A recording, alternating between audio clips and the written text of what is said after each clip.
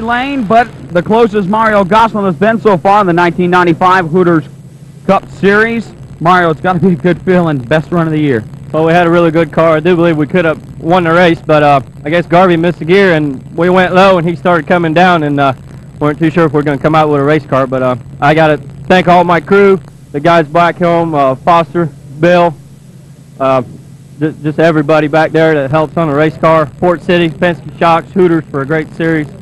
Goodyear, just uh, it's been you know been a good series. We're just uh, looking for a major sponsor try to finish the end of the year. Mario, consistency is really paying off for you, staying up there in the points.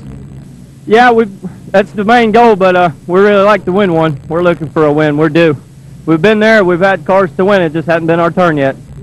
Lake Wales, Mario Gosselin, his strongest finish of the year, second place here in the Winn-Dixie 100. We'll send it back up to the booth.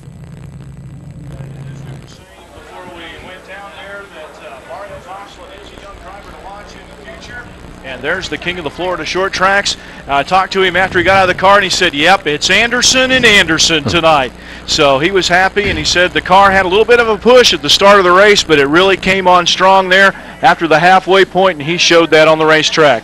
From here, the United Speed Alliance Hooters Cup late models travel to Flemington, New Jersey on the historic 5 8 mile racetrack up in between Trenton, New Jersey and around Philadelphia. We'll be up there on Saturday night, July 29th. And then on Friday night, August the 11th, the Hooters Cup Tour will be in Knoxville, Tennessee at 411 Motor Speedway.